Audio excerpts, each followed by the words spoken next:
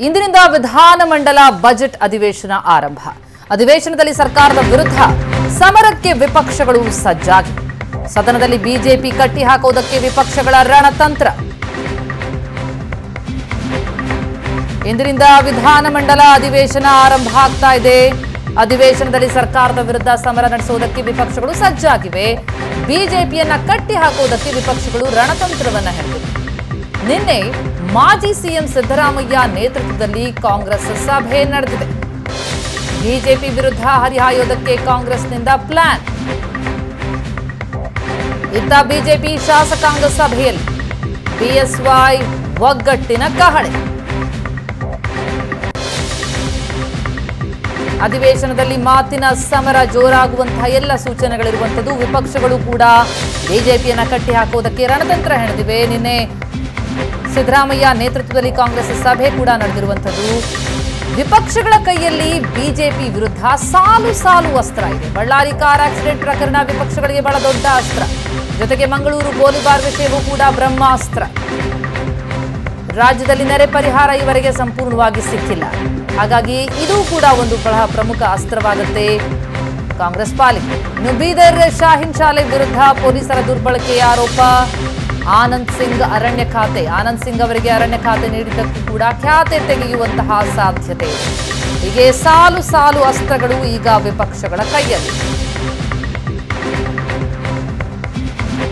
ವಿಚಾರವಾಗಿ ಇನ್ನಷ್ಟು ಡೀಟೇಲ್ಸ್ ಪಡೆಯೋಣ. ನಮ್ಮ ಪ್ರತಿನಿಧಿ ರವಿ ಶಿವರಾಮ್ ಈಗ ನಮ್ಮ ಜೊತೆ ವಿಧಾನಸೌಧದಿಂದ ನೇರ ಸಂಪರ್ಕದಲ್ಲಿದ್ದಾರೆ. ರವಿ, ಅಧಿವೇಶನ ಆರಂಭ ಆಗ್ತಾ ಇದೆ. ಹಾಗಾಗಿ ಈ ಅಧಿವೇಶನದಲ್ಲಿ ಮಾತಿನ ಸಮರಕ್ಕೆ ಬಹಳಷ್ಟು ಅವಕಾಶಗಳಿರುವಂಥದ್ದು, ವಿಪಕ್ಷಗಳಂತೂ ಕೂಡ ಬಹಳಷ್ಟು ಅಸ್ತ್ರಗಳನ್ನು ಇಟ್ಕೊಂಡು ಸಿದ್ಧ ಆಗಿರ್ಬೋದು ಅನ್ಸುತ್ತಲ್ವಾ?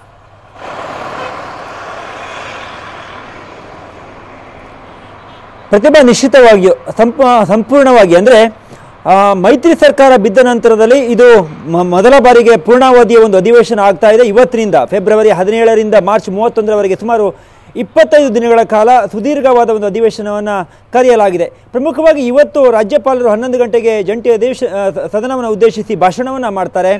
ನಂತರದಲ್ಲಿ ಒಂದಿಷ್ಟು ಚರ್ಚೆಗಳು ಕೂಡ ಆಗ್ತವೆ. ನೀವು ಕೇಳಿದಂತೆ ಒಂದಿಷ್ಟು ಭಾಳ ಕಾವಿರಬಹುದು ಅಥವಾ ಪ್ರತಿಪಕ್ಷಗಳ ಮಾತಿಗೆ ಅಥವಾ ಸರ್ಕಾರದ ನಡುವೆ ವಾಗ್ಯುದ್ಧಕ್ಕೆ ಕೂಡ ಕಾರಣವಾಗಬಹುದು ಹೇಳುವಂಥದ್ದು ನಿಶ್ಚಿತವಾಗಿಯೂ ಬಿ ಜೆ ಪಿ ಸರ್ಕಾರ ಅಧಿಕಾರಕ್ಕೆ ಬಂದ ನಂತರದಲ್ಲಿ ಆಡಳಿತ ಪಕ್ಷದಲ್ಲಿ ಆಗಿರುವಂಥ ಒಂದಿಷ್ಟು ವಿಚ ವಿಚಾರಗಳಿರ್ಬೋದು ಅದು ಖಾತೆ ಹಂಚಿಕೆಯಲ್ಲಿ ಪ್ರಮುಖವಾಗಿ ಆನಂದ್ ಸಿಂಗ್ ಎರಡನೇ ಖಾತೆಯನ್ನು ಕೊಟ್ಟಂಥ ವಿಚಾರ ವಿಚಾರ ಇರ್ಬೋದು ನೆರೆ ಬಂದಂಥ ಸಂದರ್ಭದಲ್ಲಿ ಉತ್ತರ ಕರ್ನಾಟಕ ಭಾಗದಲ್ಲಿ ಇವತ್ತಿಗೂ ಕೂಡ ಸರಿಯಾಗಿ ನೆರೆ ಸಂತ್ರಸ್ತರಿಗೆ ಪರಿಹಾರವನ್ನು ಕೊಟ್ಟಿಲ್ಲಾಳುವಂಥ ವಿಷಯ ಇರ್ಬೋದು ಹಾಗೆಯೇ ದೇಶದ್ರೋಹದ ದ್ರೋಹದಂಥ ಪ್ರಕರಣ, ಅಂದರೆ ಶಾಹಿನ್ ಶಾಲೆಯಲ್ಲಿ ಮೊನ್ನೆ ನಡೆದಂಥ ಒಂದು ಪ್ರಕರಣ, ಶಾಲಾ ಮಕ್ಕಳು ಒಂದು ಸಿ ಎ ವಿರುದ್ಧ ಒಂದು ಪ್ರೊಟೆ ನಾಟಕವನ್ನು ಮಾಡಿದರು. ನಂತರದಲ್ಲಿ ಅವರನ್ನು ಬಂಧಿಸಲಾಗಿತ್ತು.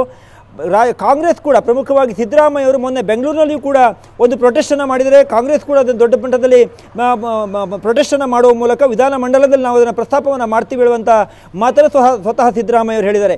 ಹಾಗಾಗಿ ದೇಶದ್ರೋಹದ ಪ್ರಕರಣ ಜೊತೆಗೆ ಒಂದಿಷ್ಟು ವಿಚಾರಗಳಲ್ಲಿ ಪ್ರಮುಖವಾಗಿರುವಂಥದ್ದು ಅಂತ ಹೇಳಿದ್ರೆ ನೆರೆ ಸಂತ್ರಸ್ತರ ವಿಷಯ. ಯಾಕೆಂದರೆ ಪ್ರತಿಮ ನೆರೆ ಸಂತ, ನೆರೆ ಬಂದಂಥ ಸಮಯದಲ್ಲಿ ಉತ್ತರ ಕರ್ನಾಟಕ ಭಾಗದಲ್ಲಿ ಬಿ ಜೆ ಪಿ ಸರ್ಕಾರ ಸರಿಯಾಗಿ ಅವರಿಗೆ ಸಹಾಯವನ್ನು ಮಾಡಿಲ್ಲ ಹೇಳುವಂಥ ಕೂಗು ಆ ಪ್ರತಿಪಕ್ಷಗಳು ಆಗಿಂದನೂ ಮಾಡ್ತಾ ಬಂದಿದ್ವು ಹಾಗಾಗಿ ಅವತ್ತು ಚರ್ಚೆಯನ್ನು ಮಾಡೋದಕ್ಕೆ, ಅಂದರೆ ಸರ್ಕಾರ ರಚನೆ ಆದ ನಂತರದಲ್ಲಿ ಬಿ ಜೆ ಪಿ ಯಡಿಯೂರಪ್ಪ ಮುಖ್ಯಮಂತ್ರಿ ಆದ ಸಮಯದಲ್ಲಿ ಎರಡು ಮೂರು ದಿನಗಳಿಗೆ ಅಧಿವೇಶನ ನಡೆಸಿದ್ರು. ಆದರೆ ಆ ಸಂದರ್ಭದಲ್ಲಿ ಉತ್ತರ ಕರ್ನಾಟಕ ಭಾಗದ ಸಮಸ್ಯೆಗಳ ಬಗ್ಗೆ ಚರ್ಚೆಯನ್ನು ಮಾಡೋದಕ್ಕೆ ಸಮಯ ಸಿಕ್ಕಿರಳುವಂಥ ಆರೋಪವನ್ನು ಅಂದೇ ಸಿದ್ದರಾಮಯ್ಯ ಅವರು ಮಾಡಿದರು. ಆದರೆ ಈಗ ಸುದೀರ್ಘವಾಗಿ ಸುದೀರ್ಘವಾಗಿ ಅಧಿವೇಶನ ನಡೀತಾ ಇರೋದ್ರಿಂದ ಆ ಎಲ್ಲ ವಿಚಾರಗಳನ್ನು ಇಟ್ಟುಕೊಂಡು ರಾಜ್ಯ ಸರ್ಕಾರವನ್ನು ಕಟ್ಟಿ ಹಾಕುವಂಥ ಪ್ರಯತ್ನವನ್ನು ಕಾಂಗ್ರೆಸ್ ನಿಶ್ಚಿತವಾಗಿಯೂ ಮಾಡುತ್ತೆ. ಹಾಗೆಯೇ ಇವತ್ತು ಪ್ರಮುಖವಾಗಿ ಪ್ರತಿಮಾ ರಾಜ್ಯಪಾಲರು ಜಂಟಿ ಅಧಿವೇಶನವನ್ನು ಉದ್ದೇಶಿಸಿ ಭಾಷಣವನ್ನು ಮಾಡ್ತಾರೆ. ಕಳೆದ ಬಾರಿಯೂ ಕೂಡ ಅವರು ಹಿಂದಿಯಲ್ಲಿ ಭಾಷಣವನ್ನು ಮಾಡಿದರು, ಹಾಗಾಗಿ ಈ ಬಾರಿಯೂ ಕೂಡ ಹಿಂದಿಯಲ್ಲಿ ಭಾಷಣವನ್ನು ಮಾಡ್ತಾರೆ. ಅದಕ್ಕೆ ಪ್ರತಿಪಕ್ಷಗಳು ವಿರೋಧವನ್ನು ವ್ಯಕ್ತಪಡಿಸುವಂಥ ಸಾಧ್ಯತೆಯೂ ಕೂಡ ಇದೆ. ಯಾಕೆಂದರೆ ಹಿಂದಿ ಹೇರಿ ಕೇಳುವಂಥ ವಿಷಯವಾಗಿ ಈಗಾಗಲೇ ಕನ್ನಡ ಪರ ಸಂಘಟನೆಗಳು ಆಗಾಗ ಪ್ರತಿಭಟನೆಯನ್ನು ಮಾಡ್ತಾ ಇರ್ತವೆ ಕೇಂದ್ರದ ವಿರುದ್ಧ. ಹಾಗೆ ಇವತ್ತು ರಾಜ್ಯಪಾಲರು ಹಿಂದಿ ಭಾಷೆಯಲ್ಲೇ ಭಾಷಣವನ್ನು ಮಾಡಿದರೆ ಅದನ್ನು ಪ್ರತಿಪಕ್ಷಗಳು ವಿರೋಧ ಮಾಡುವಂಥ ಸಾಧ್ಯತೆ ಇದೆ. ಜೊತೆಗೆ ರಾಜ್ಯಪಾಲರ ಭಾಷಣದ ಸಮಯದಲ್ಲಿ ಯಾರೆಲ್ಲ ಗಲಾಟೆ ಮಾಡ್ತಾರೋ ಅವರನ್ನು ಸದನದಿಂದ ಅಮಾನತು ಮಾಡಲಾಗತ್ತೆ ಹೇಳುವಂಥ ಮಾತನ್ನು ಈಗಾಗಲೇ ಸ್ಪೀಕರ್ ಅವರು ಹೇಳಿದ್ದಾರೆ ಕಾಗೇರಿ ಅವರು. ಹಾಗೆ ಆ ವಿಷಯ ಕೂಡ ಸಾಕಷ್ಟು ಚರ್ಚೆಗೆ ಕಾರಣವಾಗಿತ್ತು. ಯಾಕೆಂದರೆ ಅದು ನಮ್ಮ ಹಕ್ಕು. ನಾವು ಪ್ರಶ್ನೆಯನ್ನು ಮಾಡುವಂಥದ್ದು ಅಥವಾ ನಮ್ಮ ಪ್ರಶ್ನೆಯನ್ನು ಕೇಳುವಂಥದ್ದು ಇದು ನಮ್ಮ ಹಕ್ಕಾಗಿದೆ. ಹಾಗಾಗಿ ಇದನ್ನು ಯಾರು ಮೊಟಕುಗೊಳಿಸಬಾರ್ದು ಹೇಳುವಂಥ ಮಾತನ್ನು ಸಿದ್ದರಾಮಯ್ಯ ಈಗಾಗಲೇ ಹೇಳಿದ್ದಾರೆ. ಹಾಗಾಗಿ ಇವತ್ತಿನ ಅಧಿವೇಶನ ಸಾಕಷ್ಟು ಮಹತ್ವವನ್ನು ಪಡೆದುಕೊಂಡಿದೆ. ಇವತ್ತಿನ ಕಲಾಪದಲ್ಲಿ ಏನೆಲ್ಲ ಆಗತ್ತೆ ಅನ್ನುವಂಥ ಕುತೂಹಲ ಸಹಜವಾಗಿದೆ ಆ, ಪ್ರತಿಮಾ ಥ್ಯಾಂಕ್ ಯು ರವಿ ತಮ್ಮ ಮಾಹಿತಿಗೆ.